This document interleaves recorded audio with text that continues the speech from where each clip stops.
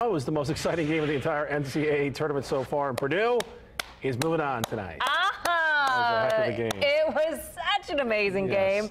Oh man, put on a show. Boilers uh, took down Tennessee. Overtime. Yeah, they were up 18. Up Oh. 18. Then they lost the lead. Then they came back, tied it up. Woo! First time in the Elite Eight since 2000. Wow.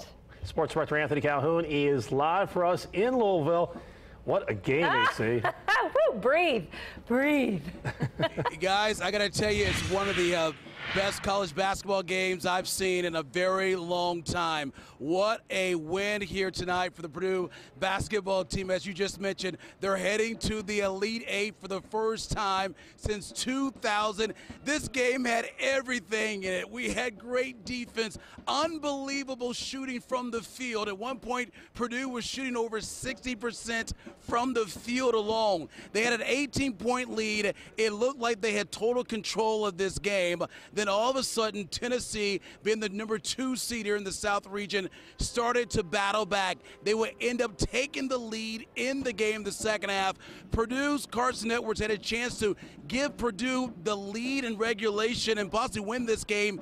He was two of three from the free throw line when he got fouled on that three point shot with final seconds left to play in the game. He made two of three. The game went to overtime. In overtime, Purdue completely dominated. Going on to win tonight, 99 to 94 is the final. And now Matt Painter, who had like no talent at all, if you think about it, at the beginning of the season, has his team just one win away from playing in the Final Four coming up next week in Minneapolis. Unbelievable. Hey, we caught up here with some Purdue fans. I got to tell you something. This place was rocking here tonight, folks. There were so many Purdue fans here, like these two right here. Oh, yeah. Where y'all from? I'm actually from Fort Wayne. She's from Fort Wayne. She lives down here, and Yeah. I came down from Indianapolis today. How about the Boilermakers? What a win here.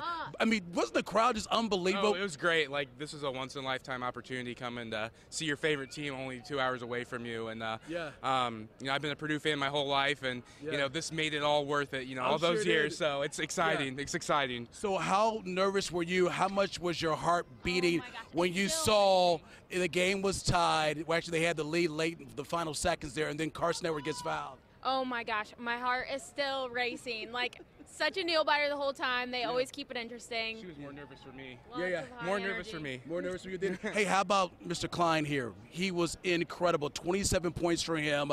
Unbelievable from behind the arc. Every time he touched the ball, it seemed like it was going in.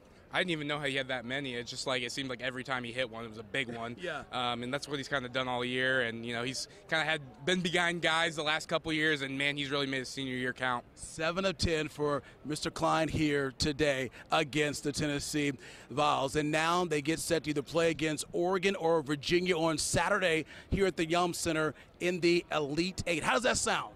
It sounds great. We'll be here. You'll be all right. We'll How let you guys get How much are the tickets? Oh, I'm sure they're going to be a lot because there's going to be a lot of Purdue fans here Oh, for yeah. sure. You'll Yeah. get some, right? Okay. Yeah, Yeah. for Take sure. care of your girl It's here. worth the money. You guys It's will be all worth right. the money. All right. We'll let you guys get here. No problem. Boiler up big time. All right.